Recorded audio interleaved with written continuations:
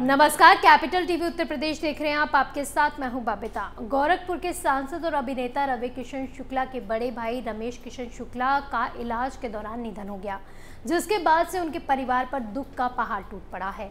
वहीं इस घटना की जानकारी जैसे ही लोगों को हुई तो अंतिम संस्कार में शामिल होने के लिए लोगों का तांता लग गया। वहीं कई बड़े नेताओं ने सोशल मीडिया पर शोक संवेदना भी व्यक्त की है।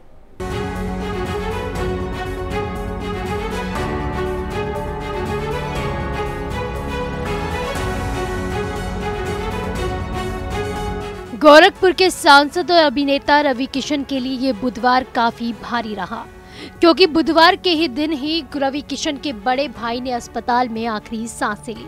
उनके बड़े भाई का इलाज काफ़ी समय से एम्स में चल रहा था।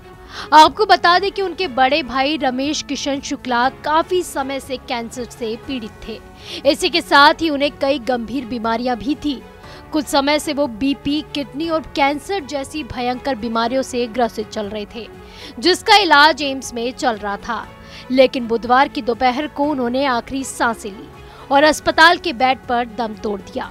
देर शाम रमेश किशन के शव को लेकर रवि किशन और उनका परिवार वाराणसी पहुँचा।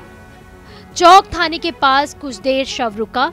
इस दौरान बीजेपी नेता समेत कई कार्यकर्ता भी मौजूद रहे। कुछ देर रुकने के बाद शव को मणिकर्णिका घाट पर अंतिम संस्कार के लिए ले जाया गया, जिसके बाद उन्हें मुखाग्नि दी गई। उनको मुखाग्नि रवि किशन के बड़े भाई राम किशन शुक्ला ने दी। इस अंतिम यात्रा में लोगों की भारी भीड़ भी देखने को मिली। सांसद रवि किशन के बड़े भाई के निधन की जानकारी होने पर यूपी के मुख्यमंत्री योगी आदित्यनाथ और उत्तराखंड के सीएम पुष्कर सिंह धामी सहित कई राजनेताओं ने सोशल मीडिया पर शोक संवेदना प्रकट की।